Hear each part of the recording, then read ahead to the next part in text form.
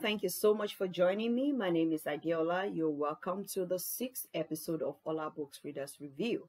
All the links to the previous vi videos are down below, so please check them out after watching this video.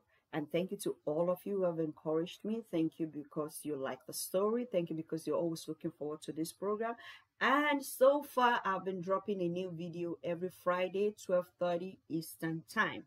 If you have subscribed to this channel, you will always get a notification when it is on. If you're yet to subscribe and you like this video, please hit the subscription button right now. Subscribe, like, and share, and comment. Thank you so much for doing that. All right, so let's start to read Colors of Love. I'm on page 15 and I'm starting from the first paragraph. Introducing sex into a relationship is an extraordinary emotional commitment that is not easy for a female gender to get over quickly. If it results in pregnancy, it is worse. Pregnancy affects every aspect of the girl's life and only a little bit or none of the boys. She gets to carry the baby, go through all the pains from the beginning till the baby is born especially if the baby's arrival is sudden. The birth is bound to interrupt much in the mother's life. So when God says something is wrong, it is not for his sake, it is for ours.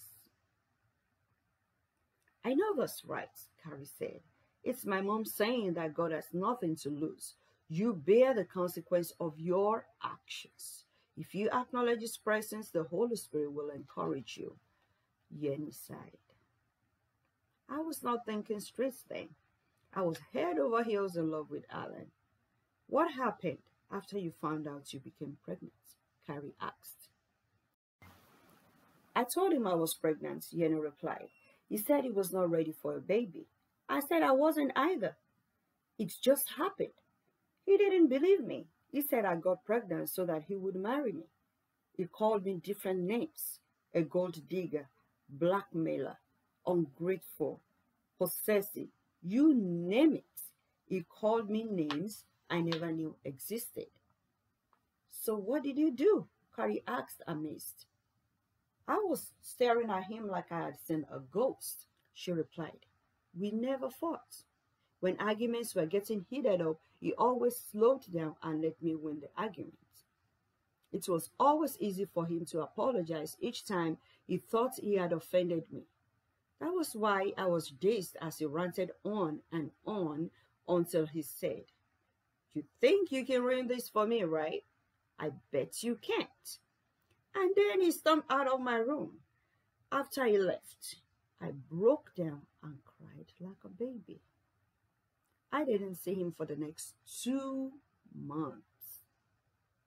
He didn't call, neither did I. I was not a gold digger. I was ready to face the consequence of what I did to myself. I was ready to be a single mother. Then he showed up with his mom on my last day in, in Enugu. I was still packing when they arrived. I was surprised to see them, but I offered them seats. They were silent for a long time. I guess the silence was becoming unbearable for them as it was for me because I had to break the silence by asking them to what I owed the visit. His mom spoke for him. He had a wife. I guess the girl he told me was his cousin. He only came to school in Nigeria because he wanted to meet his mother's side of the family and to learn the culture in Nigeria. He was more American than Nigerian. He had to return to the United States to manage the family business. Another reason why he studied administrative accounting. When she finished telling her story, I couldn't say a word. All I did was cry. I cried for wasted time, for believing lies, for allowing myself to fall a victim. The only question I asked them was about my pregnancy. I wanted to know what they would do about it. He had no answer. His mom wanted me to abort it.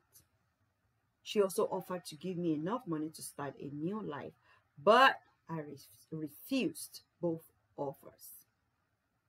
The meeting ended with another disturbing silence. I didn't sleep a wink that night. I traveled back to Lagos State with a heavy heart. That was another story entirely. What would I tell my family, especially my mom? The moment I stepped into the house, my mom knew something was wrong. I couldn't deny it. I spilled it all out, and she felt for me. She tried to talk me out of my sad mood to no avail. I carried the pregnancy for seven months and still had a premature stillbirth. What? Carrie said. It was devastating. Yeni continued. My life has never been the same since. I had much pain during labor.